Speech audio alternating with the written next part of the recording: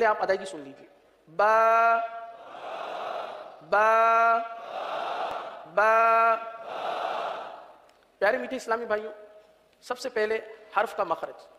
ये सीखना, याद करना बहुत ज़रूरी है कि यह हर्फ कहाँ से अदा होता है। हर हर्फ एक ख़ास जगह से अदा होता है। मुँह के जिस हिस्से से अदा होता है, उसको मखरज कहते हैं। बहुत सारे हरूफ के मखारिज कहा जाता है। तो हर हरूफ का अपना एक मखरज होता है। उस मखरज का सीखना याद करना यह हमारे लिए ज़रूरी होगा ताकि हम इसी मखरज के तहत इस हरफ को दुरुस्त अदा कर सकें। बा ये होंठों से अदा होता है।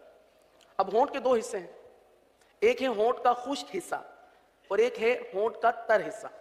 अब ये बा जो है होंठों के खुश्क हिस्से से अदा नहीं होगा, बल्कि तर हिस्से से अदा होगा। कहाँ से अदा होगा? बा होंठों के, दोनों होंठों के तर हिस्से से अदा होता है। मेरे साथ पढ़ लीजिए। बा बा बा अब इस बा के अंदर भी कुछ गलतियाँ की जाती हैं। इस तरह की गलतियाँ हो जाती हैं। मिसाल के तौर पर, भा, यानी बा के साथ हा की आवाज़ निकाली जाती है। या फिर बा को पा पढ़ दिया जाता है। पा पा, बा की बजती हुई आवाज़, और ये सिर्फ़ तर हिस्से से ही अदा हो सकती है। खुश्क हिस्से से अदा नहीं हो सकती। अब मखरज की अहमियत आप देखिए, प्यारे और मीठे इस्लामी भाइयों, मखरज की कितनी अहमियत है? होंठ एक ही है, लेकिन थोड़ा सा फ़र्क, एक तर हिस्सा है, एक खुश्क हिस्सा है।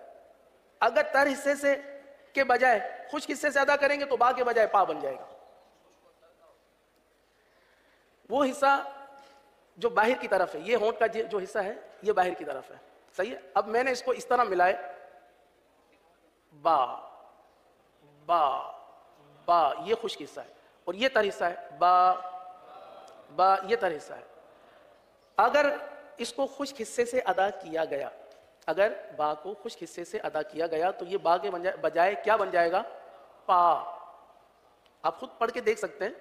ये सिर्फ़ गलत अदा गलत अदायगी सिर्फ़ इसलिए बताई जा रही है कि हम इससे बचें। सही? इसकी मश्क नहीं कर रहे। हम तो सिर्फ़ इससे बचने के लिए कि हमें इससे बचना है और सही और दुरुस्त अदायगी बा, ये अदा करना है। तो गलत अदायगी वो भी आपके सामने रख दी। अब हमें दुरुस्त अदायगी इख्तियार करते हुए दोनों होठों के तर हिस्से से बा बा बा। अब इसकी मकदार भी है ना, हर्फ की मकदार भी है। ये जो हम हर्फ अदा कर रहे हैं, एक अलिफ तक खींच के पढ़ रहे हैं।